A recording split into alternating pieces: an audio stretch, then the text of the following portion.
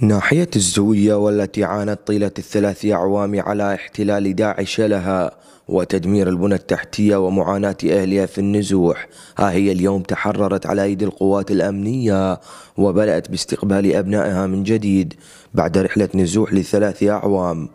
نسبة الدمار التي خلفها داعش لناحية الزوية تجاوزت التسعون بالمائة ناهيك عن ممتلكات المواطنين الأخرى والأراضي الزراعية والمؤسسات الحكومية في الناحية.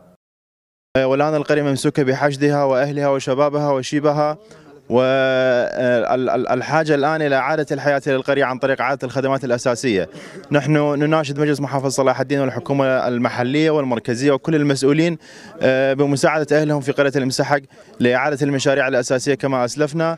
وسترون الآن الدمار الذي حل بالمسحق وتحولت إلى أرض آه، آه، سواد. عندما تركنا ديارنا كانت عامرة بأثاثها بمزارعها. لكن تفاجأنا عندما عدنا آه، ووجدنا ما هو عليه من تدمير السيارات تفجير البيوت حرق البيوت. وهذا دليل على همجية آه، الدواعش الأنجاس.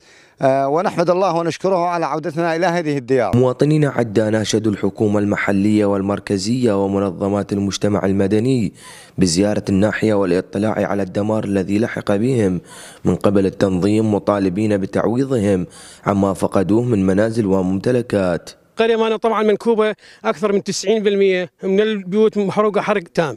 عندنا البنى التحتية اللي هي الكهرباء الماء كلها يعني الإسلاك مقطعة المحولات تعبانة المولدات الأهلية ماخذ ماخذينها البيوت مهدمة. أكو قسم من البيوت لقيناها مفخخة أكو عبوات.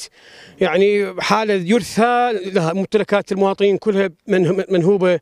فنريد يعني نريد إنه نريد الدعم والمساندة سواء من حكومة المحافظة والحكومة المركزية في بغداد أن بعين العطف.